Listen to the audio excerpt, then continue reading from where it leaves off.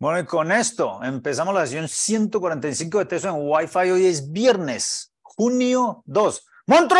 Se partió este año, parcero. ¿Ah? ¿Cómo la ves? Tranquilo, quieto. ¿Cómo está Ya usted? Bien, bien, gracias a Dios. Ya por aquí en casita otra vez después de tanta faena. ¿Qué dice Rubencho? Bien, aquí estamos. ¿Cómo vamos? Ah, bueno. En la buena. Siempre.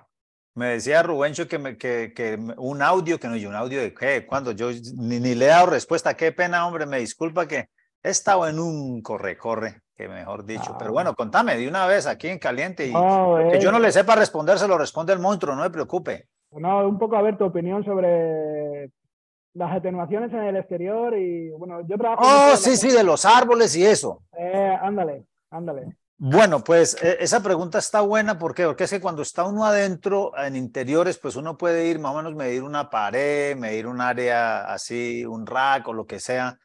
Am, monstruo, usted en los hospitales le toca ir a medir camas, medir de esas salas de rayos X y todas esas paredes, así más, más o menos, ¿qué atenuación? Sí, sí, a ¿Cuál es- nosotros no. no- ¿Cuál es nos la pared más brutal? ¿Qué vale el área que usted dice, puchica, de aquí no pasa ni, ni entra ni sale nada? Pues rayos X o qué? Rayos X. Sí, Sí, porque es ah, plomo. puro plomo. Pare- sí. Las paredes están, están hechas, no hechas, sino tienen una, como una, Una capa. una capa, una parte interior de plomo, Ya. que por ahí no pasa nada. Y lo lindo es que hay, hay hospitales que han sido remodelados Y ahí hay, una oficina ya. Eh, y las áreas de, de, de- que eran antes de rayos X, pues la, la, la han puesto ahora de, de oficinas y cosas, y, y siempre hay problemas. que es un- un- una jaula Faraday ahí. Ujú. Entonces, ¿y, y cómo medías, cómo medís tú las, por ejemplo, si tienes que ir a medir una pared, y puta, aquí por qué no sale nada ni entra nada? ¿Cómo la mides? Bueno, usualmente lo que nosotros hacemos es que medimos adentro de la pared y después medimos fuera de la pared para ver. ¿Con, con el ¿Cuál AP es a dónde? ¿O, o, o- qué, qué AP utilizan de referencia? Eh, O sea, ¿qué Eh, dispositivo están mandando ondas y con esas miden ustedes lo que mide un lado y lo que mide el otro? Usualmente usamos los AP que, que utilizamos en, en el network, que usual- eh, son Cisco. eh, ahorita estamos usando los 91, 30, 91, 96. 30. 31, 30. No, 91, O sea, lo hacen 30. como, como AP on a stick. Exacto, Ya. Exacto. Ah, Usualmente, us- usualmente son um, ya instalados. Son Sí, sí. cu- Cuando, Ah, ya Cuando puesto en, la- el techo donde está. eh, exacto, porque usualmente nosotros tenemos una, um, son, son ya localidades in- eh, o, o network que están instalados, que tenemos problemas y tenemos que ir a medir y tenemos que ver y cómo, sí, cómo sí. está la, la instalación y todo que, eso. que- que es de lo mejor. ah, obviamente se busca, lo que yo recomiendo siempre en clases, ah, estar a más de 5 metros de distancia de SAP. Ujú, Porque, a ver si tengo por acá, Cinco metros. Berlín. Cinco Espérate, que yo metros. tengo una, una presentación por aquí. Buenas tardes, señores. Yo. Jamie, ¿bien o qué, parcero? ¿Cómo vamos? Muy bien, muy bien. Ah, bueno. A ver, entonces, a ver, PowerPoint. Alcalá, ¿Qué dice. José? ¿Qué dime. tal? ¿Qué tal? ¿Cómo ¿Cómo estás? eso? Bien, bien, bien, por aquí andamos. Aquí jodido, pero no es su culpa, como decimos ¿Cómo? nosotros. Aquí jodido, pero no es su culpa. Sí. Culpa suya. sí.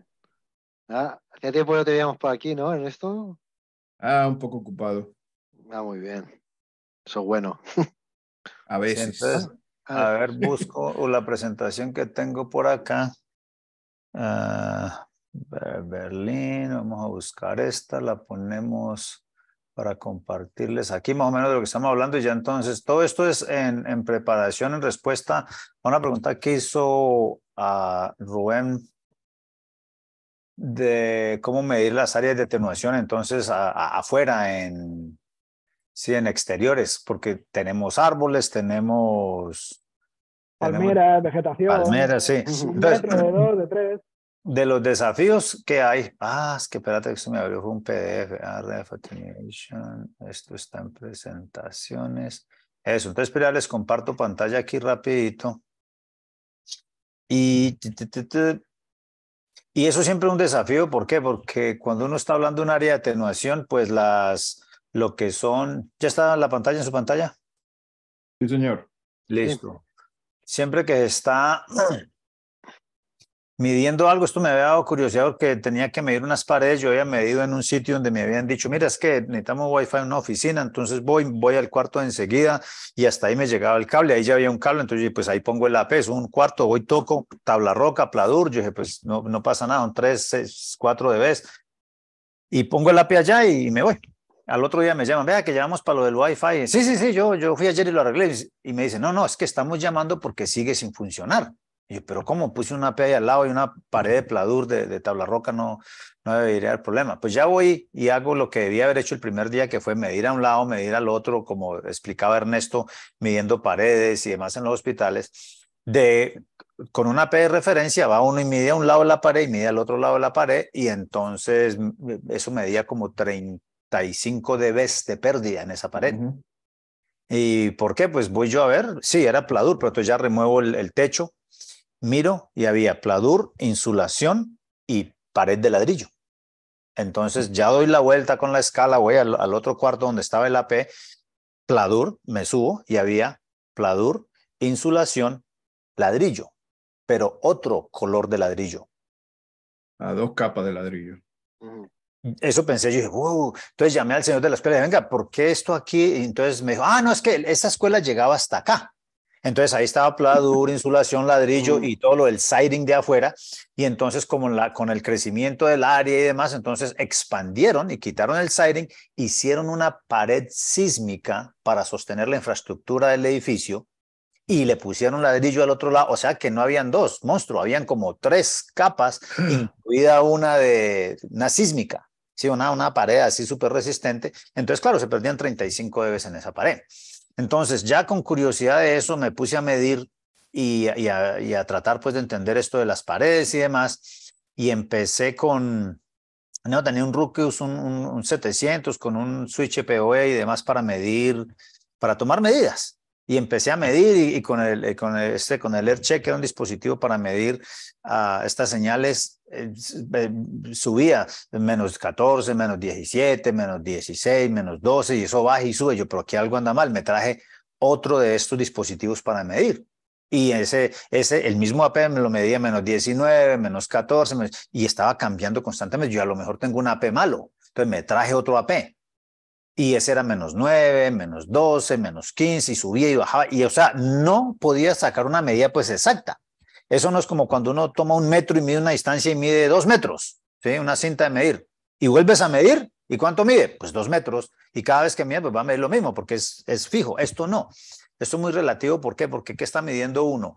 El AP está mandando señales, ondas. Con un dispositivo, no necesariamente tiene que ser un AirCheck, puede ser el EKH o el Sidekick, puede ser tu teléfono. Pones tu teléfono una, en una uh, aplicación esa como Wi-Fi Analyzer y con eso mides. Mides, mides la intensidad de esa sonda. Entonces eso varía. ¿Por qué? Porque algunas van a llegar derecho, otras van a rebotar y está midiendo los beacons como los beacons tienen esa unidad de medida, entonces todos esos van a tener diferentes valores y va a ser todo relativo. Entonces yo, bueno, pues entonces, ¿cómo voy a hacer para medir? Y, le, dije a un kit, le dije, estoy tratando de medir paredes para poder medir áreas de atenuación y si tengo que hacerlo afuera, pues medir árboles y demás, como dice Rubén. Entonces, ¿cómo hago si esto sube y baja y menos 16, menos 12, me está por todos lados? Mío, lo que pasa eh, eh, ahí es que tratar de establecer, dejar las cosas ahí quietas un tiempo y es que cada vez que uno respira y se mueve un poquito, cambia. Si lo tienes así, cambia. Si lo tienes así, cambia. Si lo tienes así, cambia. Si lo tienes así, si lo tienes así. Y hemos hecho pruebas de que lo tienes así, mide una cosa. Si lo coges con la otra mano, mide otra cosa. ¿Sí?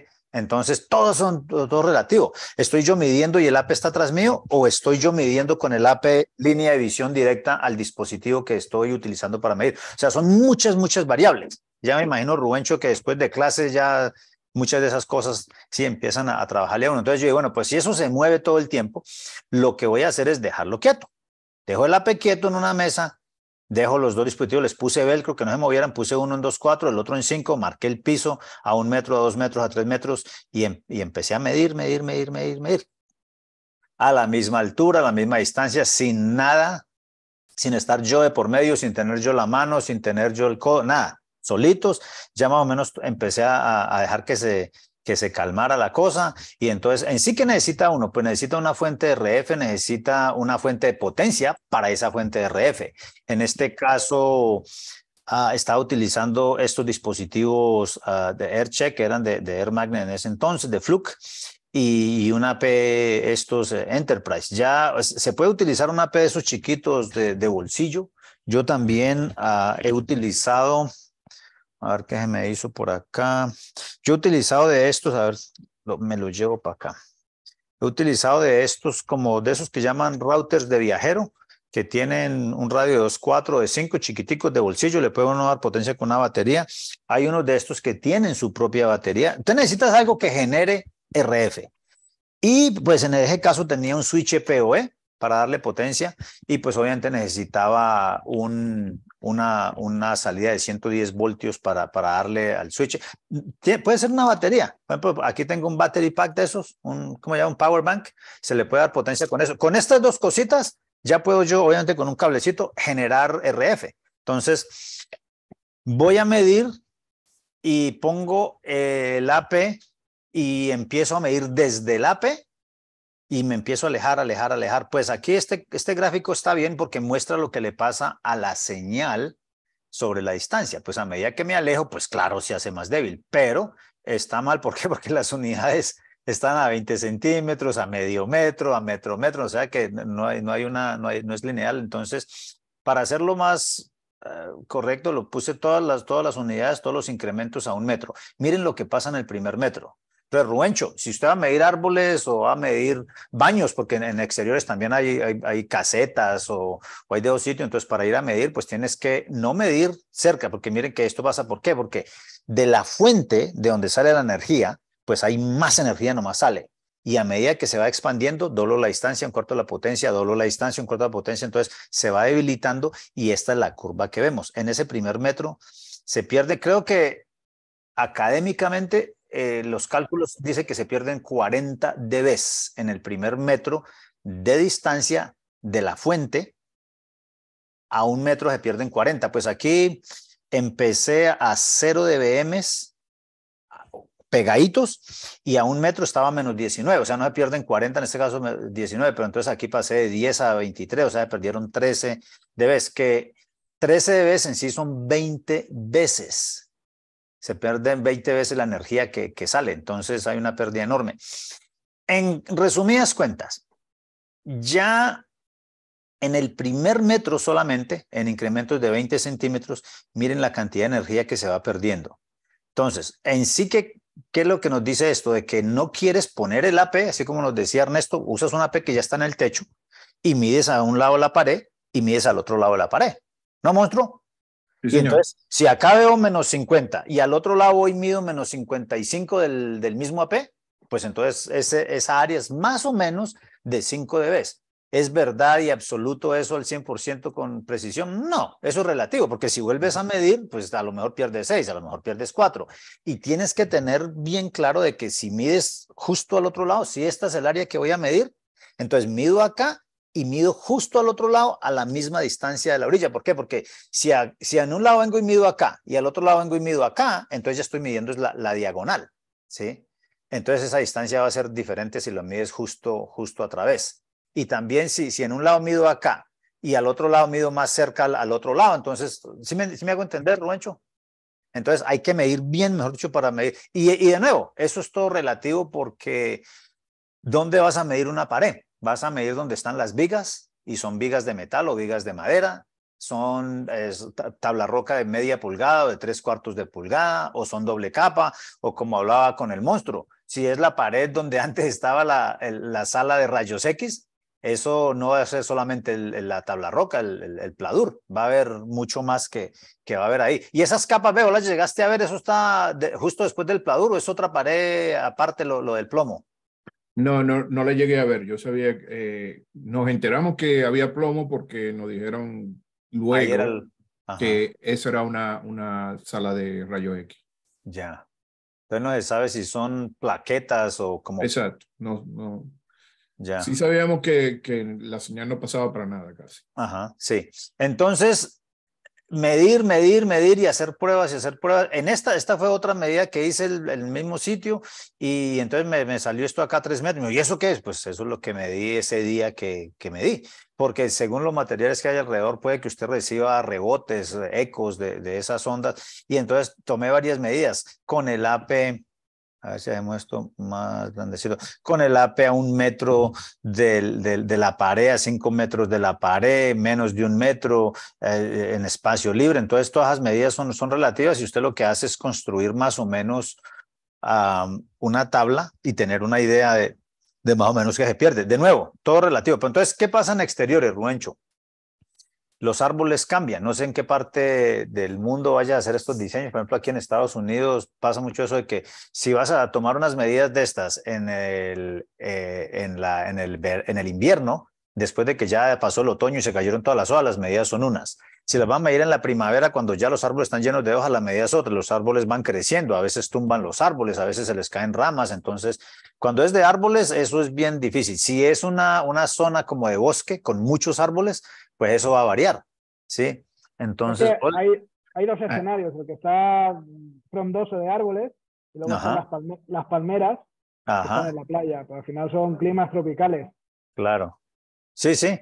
Entonces todo eso, por eso pon la clase desde el principio empezamos, piense ondas, piense ondas. ¿Por qué? Porque pues son ondas y según los materiales que hayan, según el ambiente y todo eso, eso van a ser afectados de una u otra manera. Y a eso se le suma qué dispositivo está mandando esas ondas, en qué dirección, en qué patrón de radiación y qué dispositivo está utilizando para medir esas ondas. Entonces, uh, sí, puede usted em, empezar a construir, pero no hay una tabla mágica ya que diga, vea, está la lista que, que una palmera de, tal grosor, de tal altura, a tal tiempo del año pierde tanto. No, porque hay unos árboles que tienen más humedad que otros, otros son más secos, otros, qué sé yo, yo de árboles, no sé, yo hablando de árboles como si supiera de qué estoy hablando. Pero entonces, sí, eso lo, tiene usted que ir y medir. Esa es la, la triste realidad. No hay una tabla mágica que le diga qué es. ¿Qué dice Manuel? Buenas tardes, señores. Buenas, buenas. Señor, señor Pérez. A ver, sí, herramientas, dispositivos y el ambiente, todos son cosas a tener en cuenta. Listo, yo creo que ya ahí nos, nos fuimos 15 minuticos hablando de eso. Ah, yo no vino Marco hoy. Ah, Marco hizo una, una presentación esta semana. Bueno, se subió una, una grabación que se hizo hace como un mes con Don Keith de, en lo de Packet Pushers, lo de WPA3. Vos, uh, Diego, ¿usted no ha hecho capturas en, para lo de WPA3 cuando un cliente se asocia? Espérate a ver si yo tengo una por acá. Por ahí tengo unas de las busco, espérame. Ah, listo. Como Veo, el portátil no, no, no copié todos los datos todavía. Ah, no.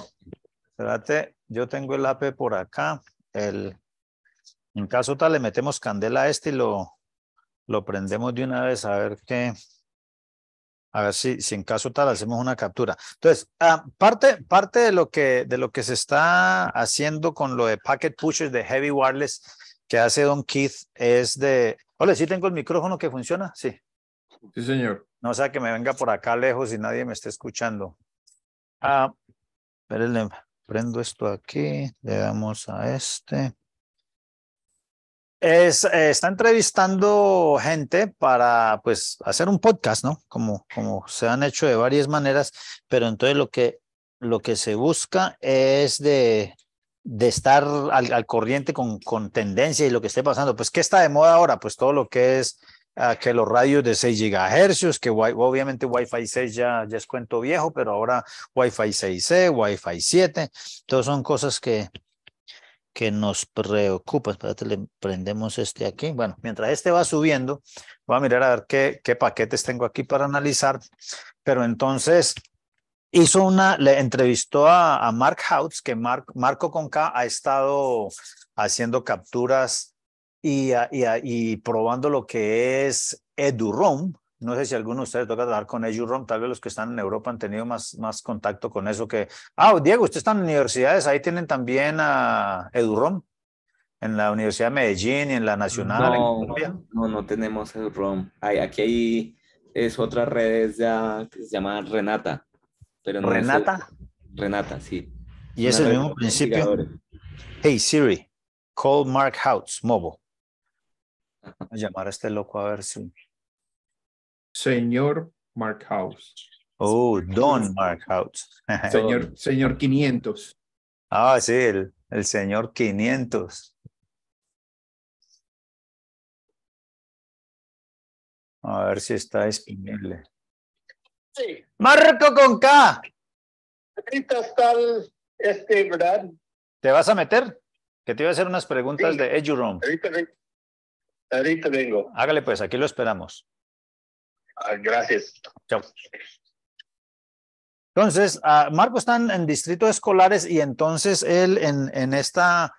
Ole, yo no, porque yo casi nunca encuentro eso de packet pushers. Uh, si alguien tiene... Espérate a ver dónde está lo de, lo de packet pushers. Ese podcast. Ah, pues ese también está en, en esto, ¿no? Espérate a ver. Heavy Wireless.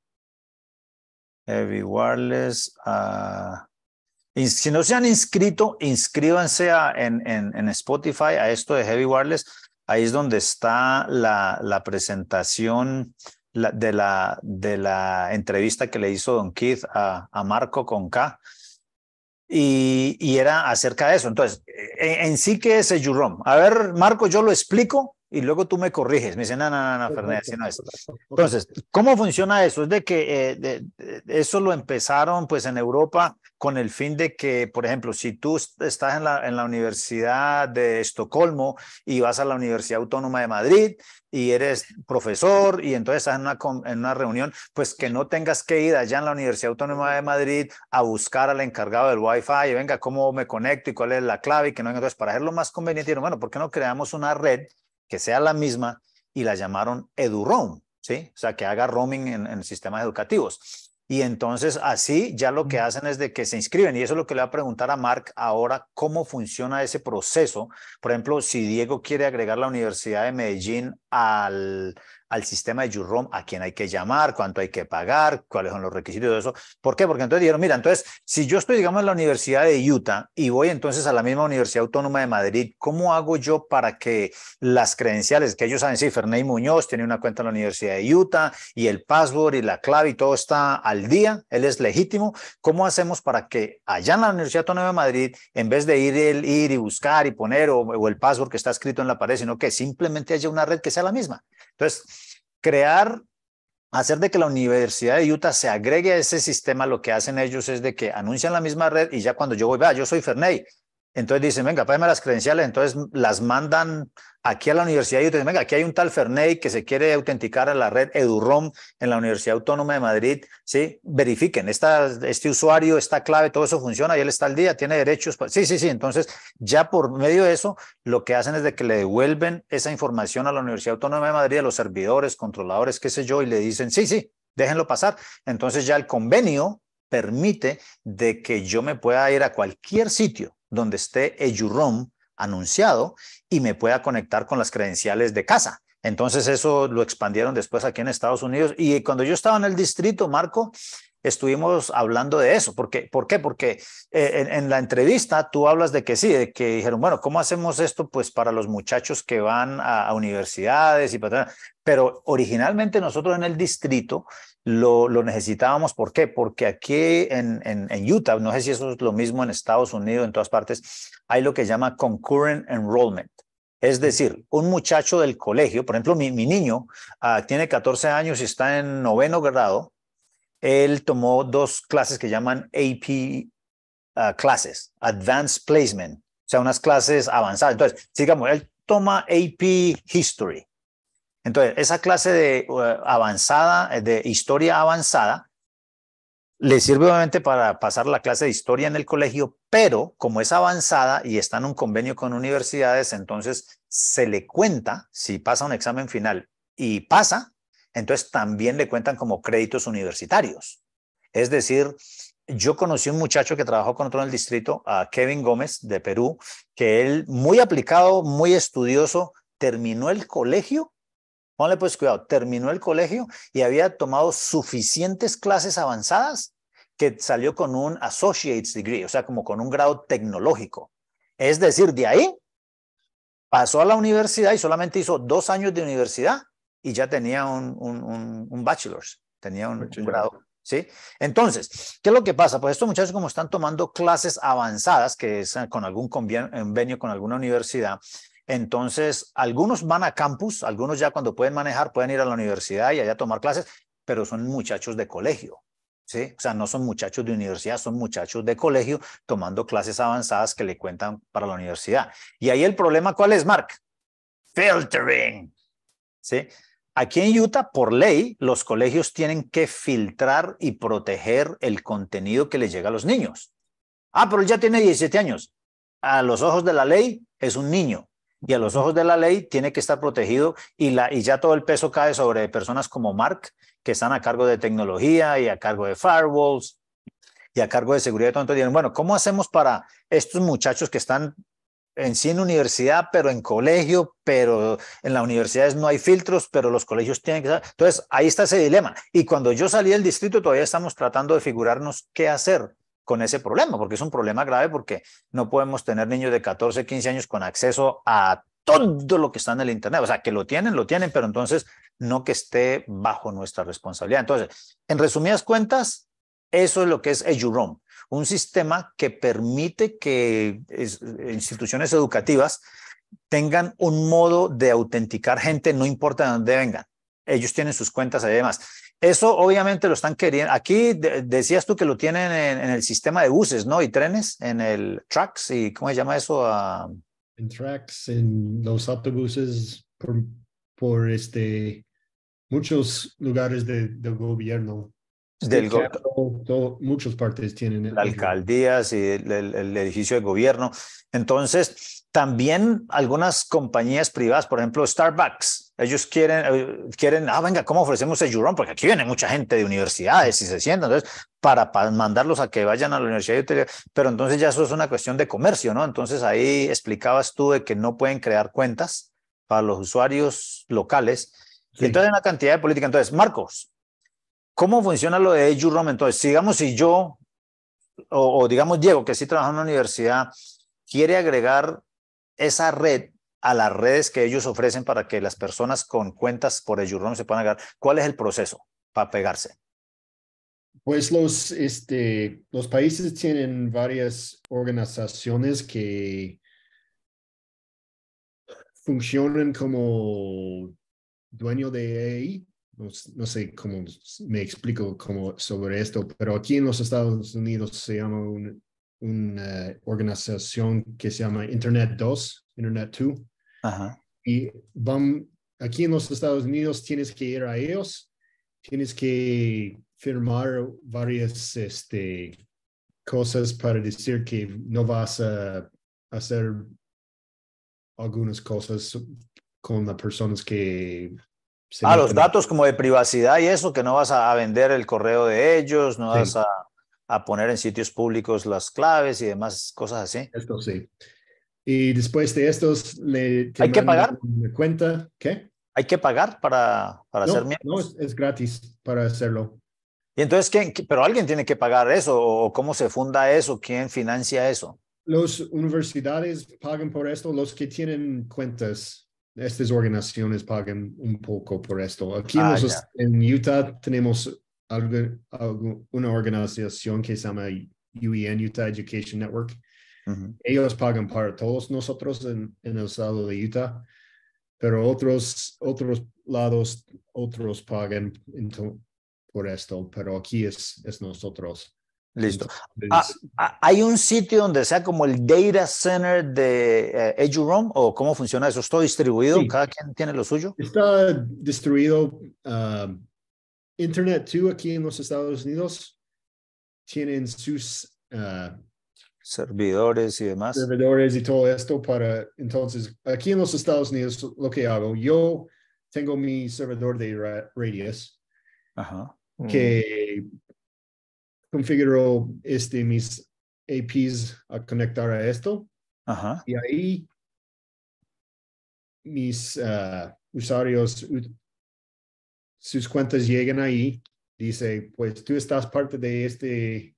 este de la red local de Mark. Ajá. Está bien. Tú Está puedes bien. meter. Si es alguien de universidad, llega a mi servidor de radios y dice, pues tú estás parte de la universidad. Entonces, Digamos que viene a- Manuel Pérez de la digamos que viene Manuel Pérez de la Universidad de Valencia. Y entonces cuando él dice me, me- me quiero conectar a la red de Mark Houts de acá del distrito de Jerome, ¿cómo sabe tu servidor de que él no es de acá, sino que es de otra parte? O sea, el ¿cómo estableces tú al convenio? Sí, el domain name. ¿Cómo se dice esto? Sí, dominio, el nombre del dominio. dominio. El dominio eh, dice, pues tú no estás parte de este, esta organización, entonces te voy a mandar a los servidores de Internet 2. Y Internet 2 hace, hace el... La- dice, la pues, conversión, tú o sea, es como un de de- esta universidad, te mando a- aquí. O, o sea, es como un DNS más o menos, que si vienes de este dominio te mando para allá. Sí. Y Ya. eh, si no estás parte de los de aquí de los Estados Unidos que están abajo de Internet 2, te mando a, a Giant, que está en Europa, o hay otros por otras parte- partes, no, no conozco a todos, Ajá. pero en, en Europa es, es Giant. Te mando ahí y eh, tu cuenta va por allá. La el Radius dice que tu, tu cuenta está bien, regresa la autorización. autorización Autorización. Autor- ya. Eso mismo. Marco, Marco, eh, se, se me- se le está como oxidando el español, parcero. En México estaba, vea, pa, pa, Ay, pa, pa. ay, Sí. hablo- Falta- falta de práctica. el inglés ahorita. Va, va a tener, va a tener que venir y presentar, aunque sea 15 minutos cada ocho días acá. Esto sería bien. Vengo a tu, Pero- a tu, eh, man viene al man cave. Vamos Ahí, a aquí la hacemos. Pre- Bueno, entonces- Marcos. Da- da- da- espera, terminamos este, este TAT y ya, ya pasamos a, a Ernesto. Entonces, Marc, ya recibes entonces respuesta de los servidores de la Universidad de Valencia y dice, sí, Manuel Pérez tiene una cuenta que es válida y él tiene permisos para acceder a tu cuenta. Entonces, ya ustedes reciben eso y, Sí. y le das dirección IP a mi y internet, a mi Wi-Fi. Ya listo. estás. Pero entonces, si, si tú tienes sistemas de filtro, de filtrado, ¿él también va a estar filtrado o según la cuenta que él traiga lo vas a dejar acceder como si fuera de universidad o, o todo está abierto? si estás en, en mi red, tienes que estar filtrado por, por las, re- las leyes. Porque los, el internet que yo tengo, tengo que, hay leyes que, ten- que me requiere que lo hago. Sí, lo- sí, por, por requisi- es un requisito que los, los tengas Sí. filtradas. Eso es como, dice- como dicen las mamás, las madres de, de uno. Si, si tú vives en mi casa, tú, tú estás bajo mi techo, te, te, te llevas por las reglas de mi, de mi casa. Ajá. Así. Sí. Pero Es- yo ya tengo ah. 18. Mientras vivas bajo este techo, Sí. Pero Ah, si, la pre- yo, si yo voy al universitario, pues ahí no hay este ley, entonces yo puedo usarlo lo que quiero. Lo que usar ellos cuando permitan. quiero. Pero entonces todo- el tráfico- tienes que estar abajo de esto. pero entonces todo el tráfico es local. No, no está Manuel Sí. yendo por un túnel hasta Madrid todo el tiempo, hasta Valencia y Es, regresando. es local. es local. Solamente la, la, el, el, el, el intercambio es el, el tráfico de radios, ¿verdad? O sea, de autenticación al el, inicial. ¿no? Exacto. Ya. Y una pregunta, ¿el banco de datos entonces no está en Internet 2 o en, en, la, en, la, en organización similar que está en Europa, sino está en la Universidad de Valencia, por ejemplo, Sí. en cuanto al, al usuario y, y la contraseña y todo eso, la, la cuenta del usuario está en cada está universidad, no en... sí. Ok, y eh, entonces Internet 2 lo que, lo que hace es conectar las, las universidades, banco de datos de, de Radius. Solamente es para tú vas por allá, tú vas por allá, por allá, por allá, por allá. O sea, para, dire- para direccionar todo el mundo a donde pertenezca. Sí, Un un Ya. Radius router. sí. Ok. ¿Y eso qué, qué tanta latencia le agrega al proceso? ¿Cómo? Latencia, o sea, latency, ¿qué tan, Oh, qué tan lento lo hace? Sí. Ah, añada un poco. Es, tiene, pues toma un poquito si estás lejos. Sí, sí. En Utah tenemos un, un red que está bien, que tiene muy, muy bajo latencia. Pero si vas a otro estado o vas a Europa o otro lugar, sería un, un, un poco despacio, pero sí sirve. Listo. Si, si tienes 802.11r, 8 R. Sí, R. Si tienes este configurado, está bien porque cuando roams, pero si no tienes esto, es, es, un, es un problema porque tienes que ir a la servidor cada vez que va. Ajá, le toca pasar por todo el proceso de, de autenticación y asociación y, y, todo de nuevo. Sí. Pero entonces quieres tener R, pero ya. Ajá. Bueno, perfecto. Información súper interesante. Si no se han inscrito a lo que es esto de Heavy Wireless, háganlo porque ahí tienen, hacen unas entrevistas a una gente súper importante, por ejemplo, al señor 500, ¿no? Porque le dice monstruo. Sí, señor 500. al señor 500. Hola, y tanto pelearon por ese número y, le quedó a Mark. Sí, sí. Todo el mundo, ay, yo quiero ser el 500, yo quiero ser el 500. Y llegó Mark calladito, 500. Yo creo que se lo guardaron a Mark. Fue. Bien, bien merecido, bien merecido. señor. gracias. Felicitaciones, parcero. Ya aquí es puro. 101. A ver, ya. Tenía una imagen mejor que yo. ¿El 501? 101. Oh, el 101. Sí, tiene. Recibió una imagen de CWN. Oh, el, el logo, el 501. sí, 501. Ese fue um, a. ¿Cómo se llama? Justin. Sí, Justin. Saint, something. Saint. El apellido raro. Sí, Justin Almore, Amor, algo Saint, Saint Amor. Saint Amor. sí. Oh, ese Justin. Bueno, entonces, Heavy Wireless, esto es de lo que es entrevistas, podcast que está haciendo Don Keith y eso forma parte de lo que llama Packet Pushers Network. Eso ahí es de, hacen también de servidores y de redes alámbricas y de todo, ¿no?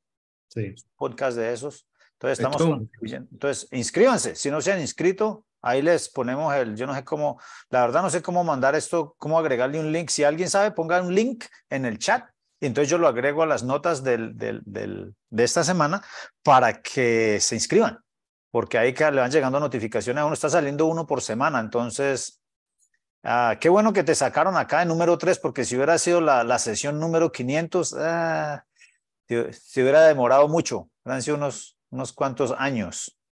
Listo. ¿Qué otra cosa aprendiste, Marco, de, de, de WPA3? no sé si, si Dieguito ha encontrado. Aprendimos que hay muchos clientes que no, no le gusta. Oh, sí. Muchísimos clientes no le gustan. Ajá. Tres. Este está en el 37. Hmm. Bueno, voy a hacer captura entonces en este canal 37 y voy a pegarme con este iPad a ver si podemos capturar el, el proceso de, de, asociación y demás. Entonces voy a, porque Dieguito, ¿encontró la, la captura o qué? Con WPA3. Ah, no, Fernández, estaba recién. Estaba una llamada, sí, eso vi que estabas ahí atendiendo. Ah, entonces, espera a ver, si con Adrián Granados, con la herramienta de... Ah, estaba viendo precisamente que EduROM en Colombia es Renata, la red que, que te comenté. Ah, sí. Pero entonces no es EduROM, porque EduROM es una sola red, un solo nombre. No, es EduROM, como dijo Mark, que es como el contexto general, pero cada país tiene una entidad que organiza el tema. Ah, oh, ah o sea, el Internet, Tour, el Internet, Tour aquí en Estados Unidos es el Renata en Colombia. Exacto. Que, que, yo me acuerdo cuando estaba empezando eso del Internet en Colombia era la Universidad de los Andes. Ellos eran como la, la entidad donde tenía que ir uno a, a, conectarse en la red de investigadores. Sí.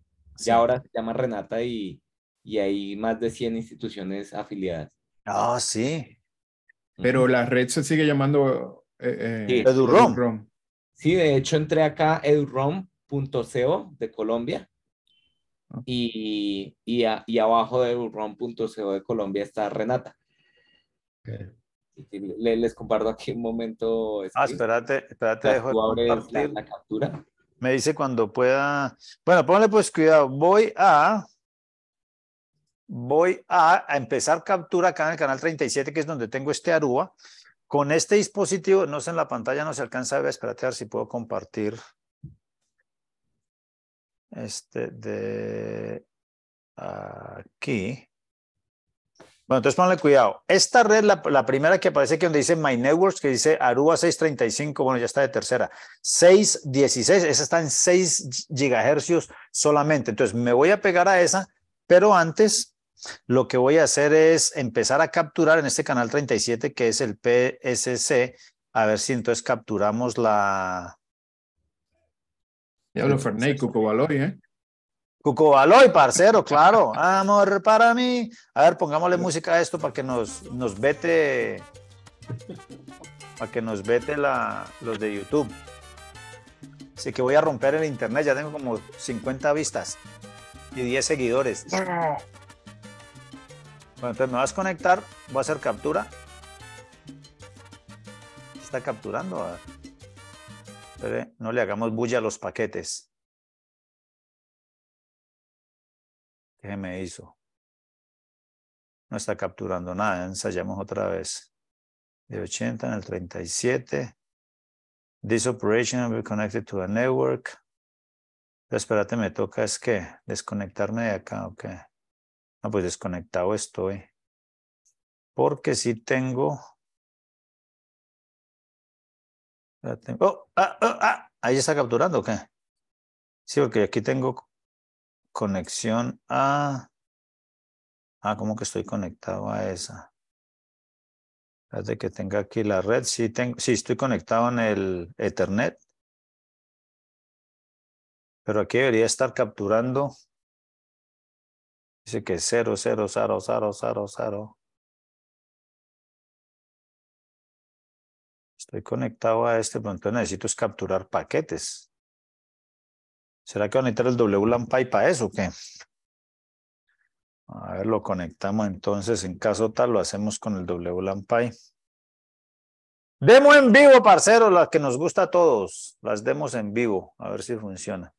Vamos a conectar este WLAN PI. Sí, porque ahí no me dice que está capturado. A ver, le damos parar. No frames were captured. Le volvemos a hacer captura en el... Ah, que si capturamos a 20, ¿no era mejor? Disconnect.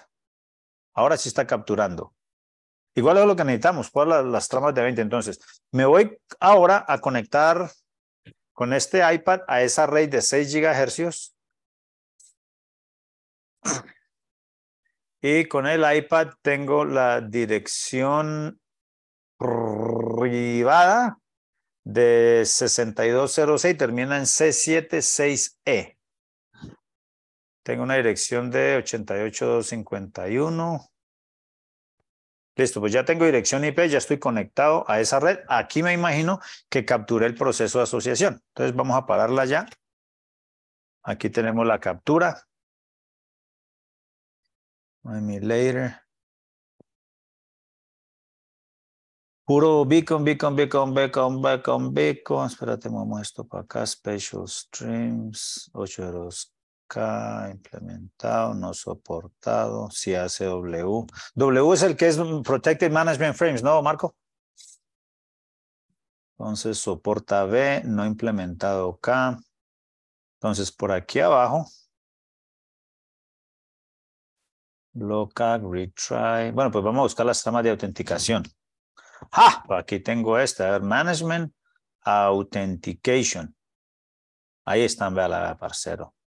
60. Oh, pero no aparece la mía. ¿Cómo hace? Authentication 94. Transmitting. Bueno, vamos a borrar el filtro aquí a ver qué nos dice. Esperemos esta ventana para acá.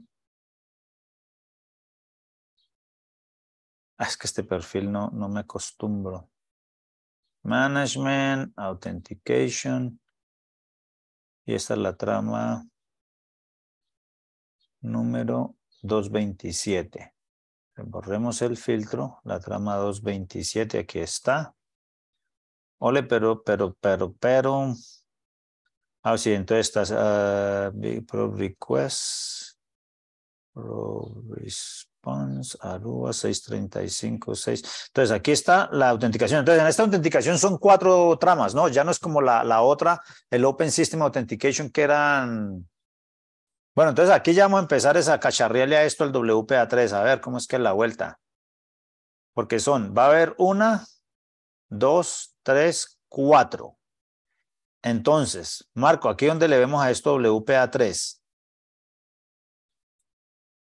Simultaneous Authentication of Equals. Entonces, esto es parte, por eso ya, ah, ya no hay Open System Authentication, ¿no? En, con WPA3, eso es parte de, la, de, lo, de lo que la hace más segura, Empecemos con esta primera, vamos a ver la segunda, la tercera y la cuarta. O sea, en vez de ser Open System Authentication, es Simultaneous Authentication of Equals, que esto es lo que se utiliza en redes mesh, que esto es más seguro. Ole, pero entonces espérate porque yo no veo la dirección esta del transmisor, receptor, BSSID, porque la dirección que tengo Mac del iPad es diferente. Espérate, miro una de estas a ver si es que tiene...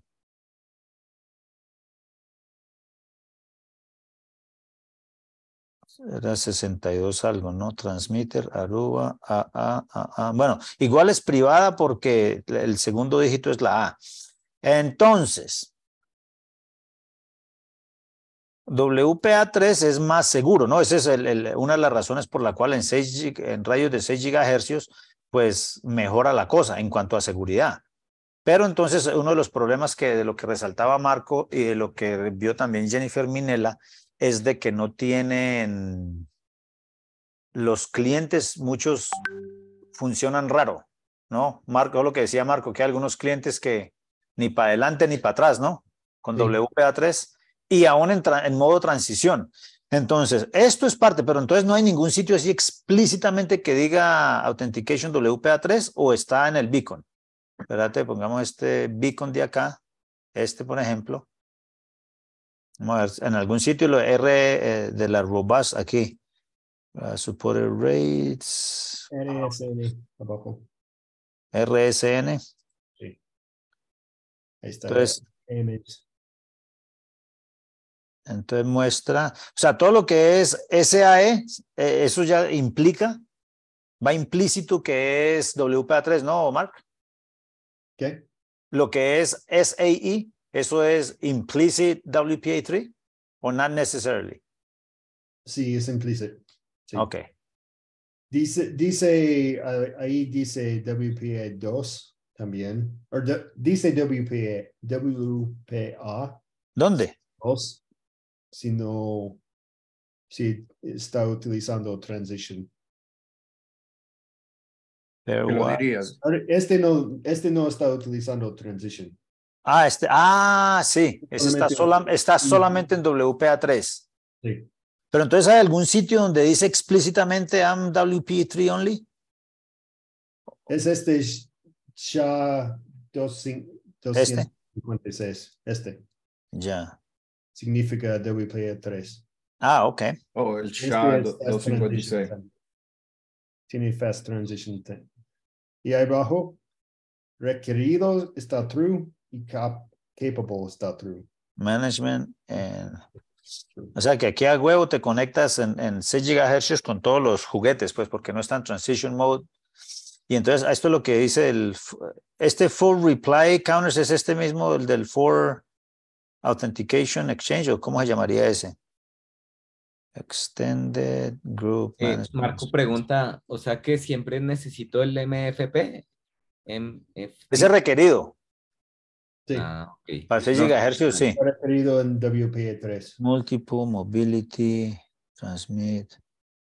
¿Esto es qué R o qué? Mobility, Tag, Capabilities, Transmit Power, Extensions, a ver qué dice RSN. Hash Element. BSSID, habilidades de este. Ya puras Pero entonces lo de la autenticación sí está aquí arriba. Entonces, estos cuatro indican obviamente que es uh, Simultaneous Authentication, o sea, ya no es Open System Authentication. Entonces, esto es más seguro por la forma en que se, ya no, aquí no intercambia nada, todo está, o sea, el proceso ese de Simultaneous Authentication of Vehicles es, es complicado, ¿no? Es más complicado de todos modos. Pero entonces no se no está intercambiando nada en el aire. Por eso para las, no se permiten redes abiertas, ¿no? Tampoco en, en, en 6 GHz. Tampoco, no puede hacerlo. Entonces tienes que tener WPA3, no puedes tener redes abiertas y en Management Protection Frames es requerido. Esas son tres cosas grandes de eso. Y seguro ahí es donde muchos dispositivos que, esto, que son a legacy, cuando llega a, a, ¿cómo es que llama? Transition mode, ahí es cuando dicen, pues yo no sé de qué me hablas y ¡fum! ahí paran. ¿Qué fue lo Eh, que... Fer- ¿puedes desplegar un momentillo? Ese, ¿lo puedes desplegar en el request? Claro, parcero, ni que estuviéramos bravos. Venga, ahora le bajo esto aquí. Listo. Ese, ese sería el Association Request. Miramos. ¿Qué dice Elliot? Seis, uno, Ya, punto, mira aquí. Hola. Fixe parameters. A ver, entonces este no importa. Radio Tab Header, lo podemos bajar acá. Tampoco necesitamos nada de ahí. Association Oye, direcciones. Parámetros, entonces. Transmitter es una AP. Co- Confidencialidad requerida. Spectrum tag, el SSID, los rates soportados, transmisión de potencia máxima. Obviamente es del cliente a todos los canales que soporta. O sea, uno y hace todos los 59 canales. Esto es hablando de canales de 20 megahercios en, en 6 gigahercios. Se hace todos los 59 canales. Pero el, el WPA3 a- Aaron no trabajaba, bueno, trabajaba con SAI y con el, con el Opportunistic también, ¿no? Está el, el- que es el protocolo este, ¿no? Que las encriptaciones se, se, se encriptan de, de forma elíptica, que, con, con lo cual no puedes, ¿no?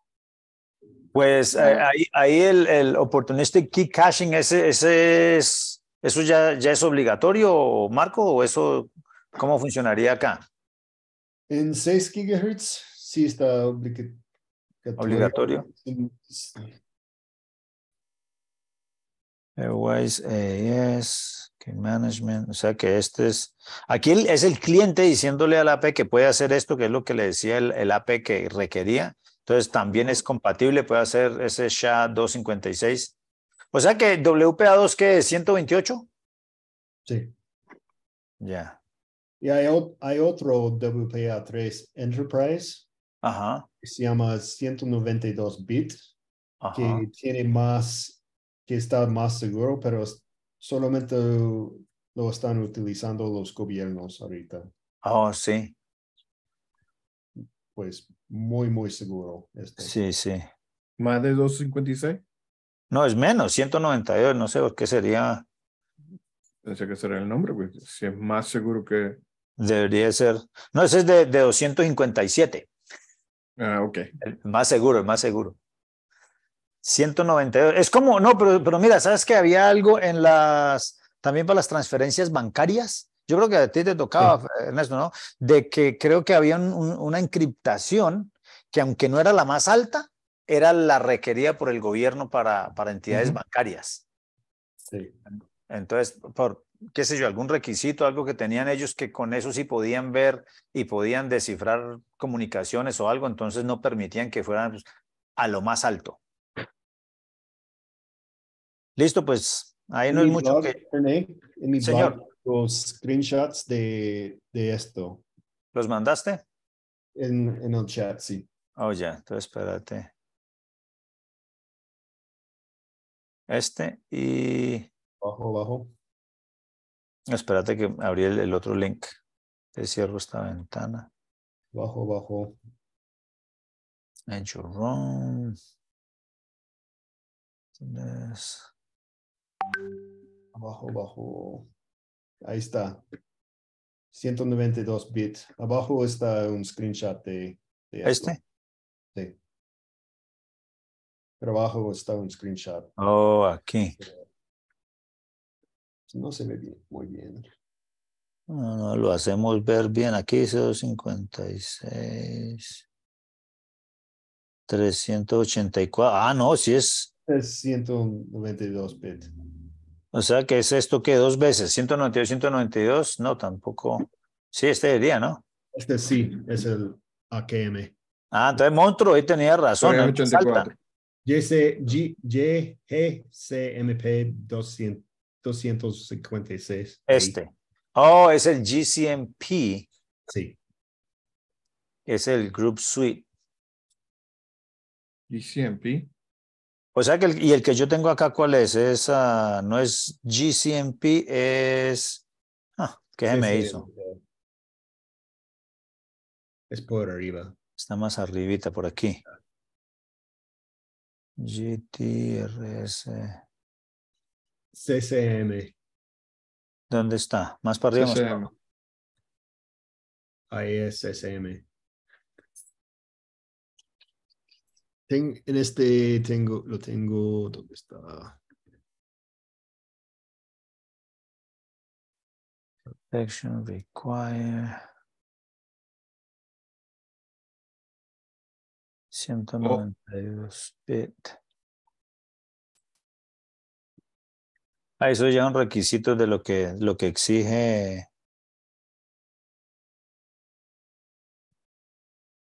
Ah, ¿Es el que dices que es de Europa, Jant? Jant es de Europa, sí. Listo. Bueno, excelente. Bueno, señores, entonces, WLPS Medellín.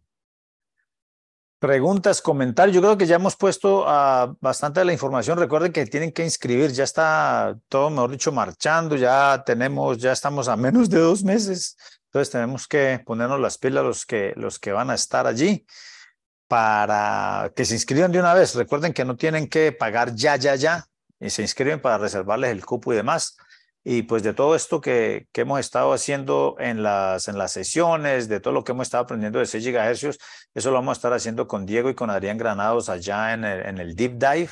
Entonces va a ser un Deep Dive, yo creo que a seis horas no nos van a alcanzar, pero igual vamos a estar bien ocupados ya dándole a ustedes, mejor dicho, la, la, lo que, ya todo desmenuzado, básicamente los datos que necesitan. Todos estos meses que llevamos batallando, peleando, aprendiendo, cometiendo errores, haciéndole nuevos, ya todo eso lo vamos a filtrar y les vamos a dar durante la conferencia básicamente lo que necesitan para poder llegar a hacer solución de problemas en 6 GHz, porque esto se nos, se nos vino encima, ya está acá, mejor dicho, y ahí se va infiltrando. Así, no es que un día se levante uno y ya todo funcione, sino que ahí poquito a poco no somos nosotros mismos, así como lo que está haciendo Mark y lo que hemos hecho aquí, que Mark también estuvo acá con sus APs y que nos estaban volviendo locos, ¿no?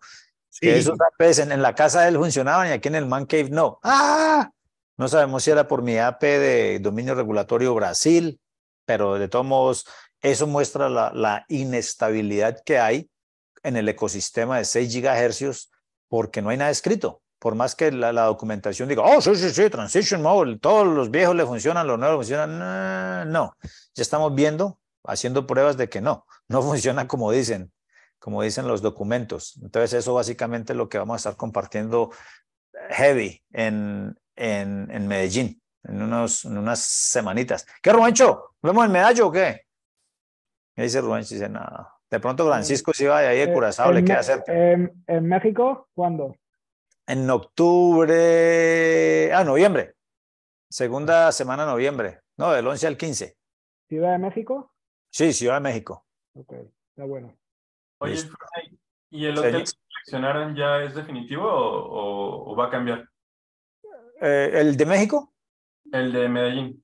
El de Medellín, no, pues el hotel donde vamos a estar es ahí donde nos vamos a hospedar, pero el evento como tal va a ser en Ruta N. O sea, esta vez va a ser diferente porque siempre, siempre nos quedamos en un hotel y ahí mismo hacemos la conferencia. Esta vez la conferencia va a ser en un centro de convenciones y el hotel va a estar ahí a 10 minutos. Entonces, Okay. Por, eso en la, en la sesión anterior les puse la, la, el sitio donde vamos a quedar. Si, si te vas a quedar allá y si te vas a quedar uh, con alguien, es, ese sitio B-Minimal es muy bueno porque tienen aparta estudios. Todos tienen dos camas o tres. Entonces sí. en cada habitación se pueden organizar para que queden varios y son separadas y tienen una cocineta y tienen una neverita y, y, tiene, son cómodos, son nuevos. Allá estuve en persona con, con Felipe Rangel. Él me presentó con la, la, asesora de ventas y estuvimos visitando cada una de las habitaciones y allá me voy a quedar yo también con mi familia porque esta vez traigo a mi esposa y a los niños y pues vamos a llegar allá una semana antes para ir a visitar la, la Hacienda Nápoles, Guatepé, la Piedra del Peñol y no hay que otras cosas. Entonces vamos a llegar una semana antes. Okay. Y allá vamos a estar. Oye, me preguntaba Charlie que por aquí anda si te vas a traer este W Lampais. Uh, allá vamos a tener los que mostré en la foto ayer, que son los, los Neo 2, que ya tienen la imagen para uh, soportar 6 GHz y vienen también con una tarjeta de 6 GHz de, de Comfast.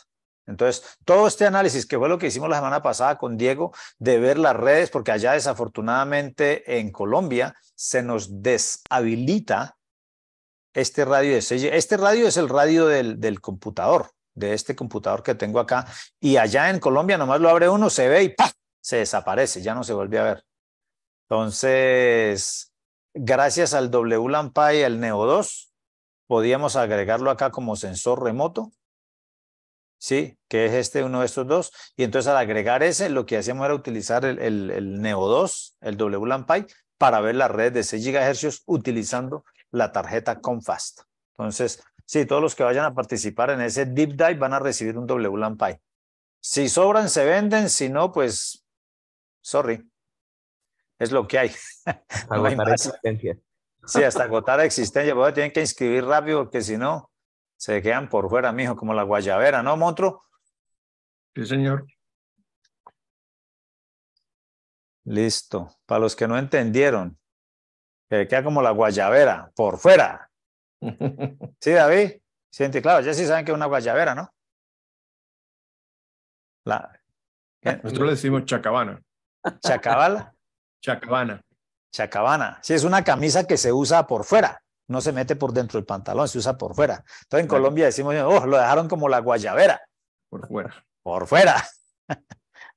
sí, porque Marco está como, ¿ah, ¿qué? a ver, Marco, a ver, le, le, le explicamos ese a Marco que tenemos que...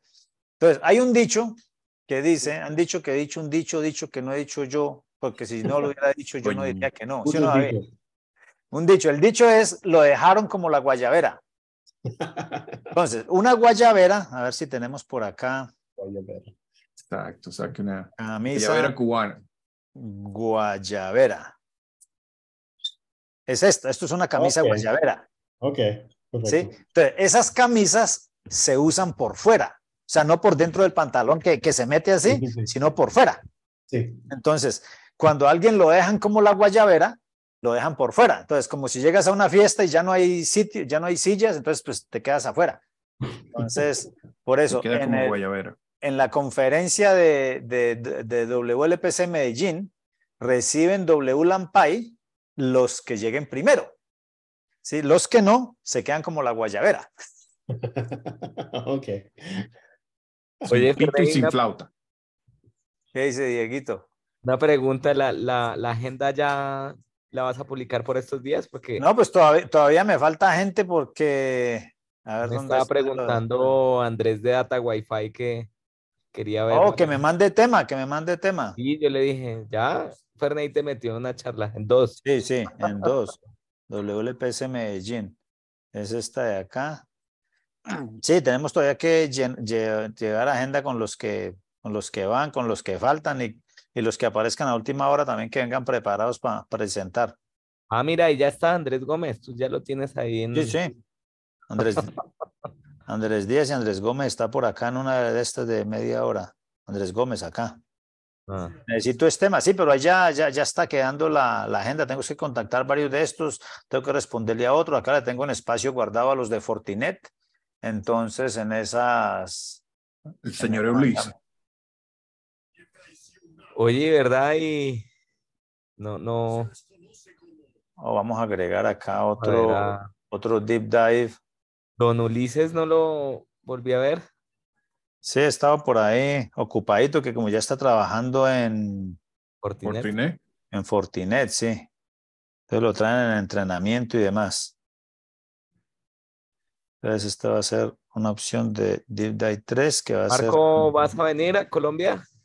No puedo ir, tengo problemas, tengo que renew, ¿cómo se dice? renovar. Renovar. Renovar mi pasaporte. Ah. Estoy esperando ahorita. Pero México sí. Ah, bueno. Yo voy a tratar de ir a México también.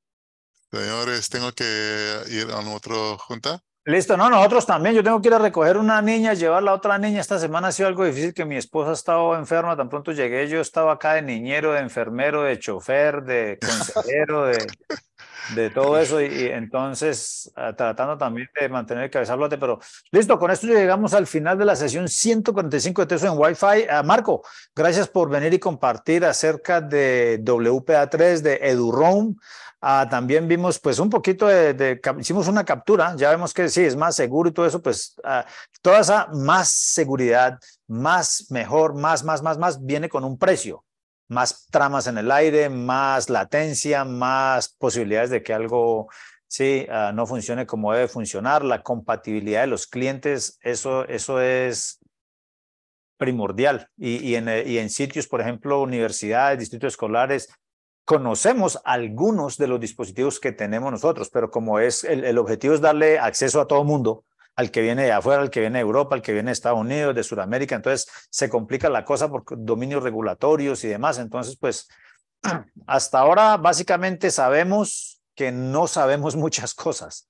Entonces, ese va a ser parte del problema. No hay nada escrito que diga, este sirve y este no. No, eso es, los metemos y si funciona bien y si no, pues no funciona, pero pues no está claro por qué. O porque no soporta algún estándar, alguna enmienda, porque no soporta algo, o porque soporta parte de eso, qué sé yo. Hay muchas cosas que no sabemos, ni siquiera los del Wi-Fi Alliance, ni, ni, ni esto, porque hay otras opciones a EduROM. Uh, eso es como lo que está tratando de hacer Open Roaming, ¿no, Marco? ¿Tiene algo sí. es relacionado?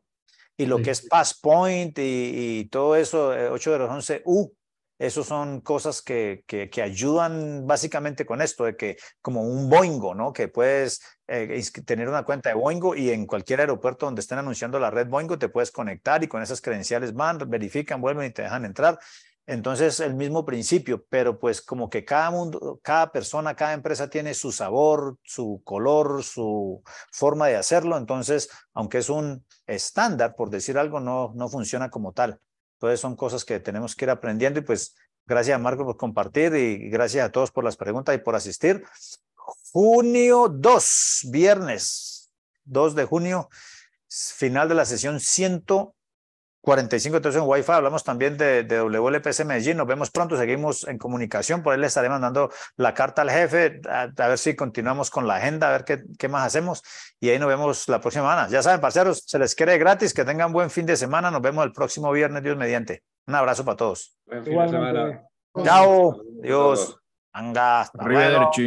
Adiós. Esto me estoy españolizando, ¿sí, Rubén? Venga, adiós, hasta luego. Vaya. Chao. Wow, chao pescado. Aquí nos vemos, monstruo. ¡Chao, monstruo! Ahí nos vemos, ha estado perdido estos días, ¿no? Sí, ¿Está ocupado, un poco ocupado, poco ocupado, sí. Ah, bueno. Pues llega el verano y se ocupa uno más. No dice, ahora oh, el sí. verano que me quede tiempo. No, ah, que me quede cuál tiempo. Ah. Listo. Sí. Marco, nos hablamos, parcero. Perfecto. Chao. Adiós.